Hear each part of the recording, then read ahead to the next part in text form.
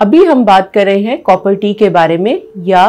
Contraception के methods में intra uterine devices या वो डिवाइसेस जो बच्चेदानी के अंदर रखी जाती हैं ताकि वक्फा किया जा सके।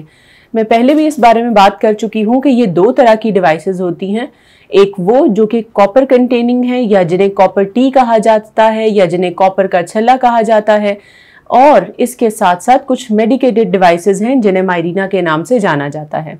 आज हम बात कर रहे हैं कॉपर टी के बारे में। कॉपर टी के बारे में मैं इतना ज़्यादा स्ट्रेस क्यों दे रही हूँ या मैं दूसरे जो मेडिकेटेड डिवाइसेस हैं, उनके बारे में ज़्यादा डिस्कशन इसलिए नहीं कर रही, क्योंकि हमारे यहाँ कॉपर टी ईजीली अवेलेबल है। बहुत इजीली आपको कहीं से भी मिल जाता है और दूसरी बात ये कि बहुत ज़्यादा कॉस्ट इफ़ेक्टिव है। जबकि मायरीना या वो कॉपर्टीज़ या वो इंट्रायूट्राइन डिवाइसेस जिनके अंदर मेडिसिन होती हैं, जिन्हें हम मायरीना के नाम से जानते हैं, वो थोड़ी से रिलेटिवली एक्सपेंसिव होते हैं। इस सेशन में हम बात करेंगे कि कॉन्ट्रा इंडिकेशंस क्या हैं। वो कौन सी कंडीशंस हैं कि जिनके अंदर आपने कॉपर टी को इस्तेमाल नहीं करना। सबसे पहले आ जाती है, अगर आपको वजाइनल डिस्चार्ज का प्रॉब्लम है या पेल्विक इन्फ्लामेटरी डिज़ीज़ के लिए आप ट्रीट हो रहे हैं मीन्स के बच्चेदानी ट्यूब या ओवरीज या उसके सराउंडिंग में कहीं पे भी आपको किसी भी किस्म का इन्फेक्शन चल रहा है। तो उस सूरत हाल में आपने अपने गायनाकोलॉजिस्ट से डिस्कस करना है और ये नॉर्मली कॉन्ट्रा इंडिकेटेड होता है कि अगर कोई भी एक्टिव इन्फेक्शन हो तो इस डिवाइस को बच्चेदानी के अंदर रखा जाए।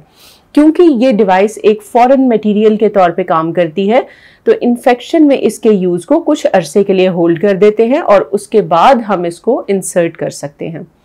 दूसरी कंडीशन अगर एक पेशेंट प्रेग्नेंट है, या उसने पिछले साइकिल में या पीरियड के पिछले जो मंथ था, उसके अंदर किसी भी किस्म का कॉन्ट्रसेप्शन यूज़ नहीं किया, या पेशेंट को किसी भी किस्म का डाउट है that she can be pregnant तो ऐसी सूरत हाल में भी कॉपर टी का इस्तेमाल नहीं किया जाता। अगर यूट्राइन फाइब्रॉइड्स हैं, यानी बच्चेदानी के अंदर किसी भी किस्म की रसोली है बच्चेदानी का साइज़ बड़ा है या उसकी जो शेप है बच्चेदानी की, उसमें कोई प्रॉब्लम है तो ऐसी कंडीशन में भी हम कॉपर टी का जो इस्तेमाल है, उसके बारे में पेशेंट को गाइड करते हैं कि वो उसको इस्तेमाल ना करे। उसकी वजह यह है कि अगर कैविटी या बच्चेदानी की जो अंदरूनी झिली है, वो डिस्टॉर्टेड होगी या उसकी साइज़ और उसका शेप प्रॉपर नहीं होगा तो इस कॉपर टी के निकल जाने के इम्कान या परफोरेट कर जाने के इम्कान कुछ ज़्यादा हो जाते हैं। अगर किसी भी पेशेंट को ड्यूरिंग पीरियड्स बहुत ज़्यादा ब्लीडिंग होती है या बहुत पेनफुल पीरियड्स होते हैं तो ये दोनों कंडीशंस भी वो हैं कि जिनमें हम पेशेंट को एडवाइस करते हैं कि वो कॉन्ट्रासेप्शन का कोई और तरीका इस्तेमाल करे और कॉपर को ऑप्ट ना करे। कॉपर के बारे में एक जो पॉजिटिव चीज़ है, अभी तो हमने बात की कि वो कौन सी कॉन्ट्रा इंडिकेशन हैं या वो कौन सी कंडीशंस हैं जिसमें कॉपर टी इस्तेमाल नहीं की जा सकती, लेकिन उसके साथ साथ इस डिवाइस के बेनिफिट्स भी बहुत ज़्यादा हैं बिकॉज़ ये पेशेंट डिपेंडेंट डिवाइस नहीं है।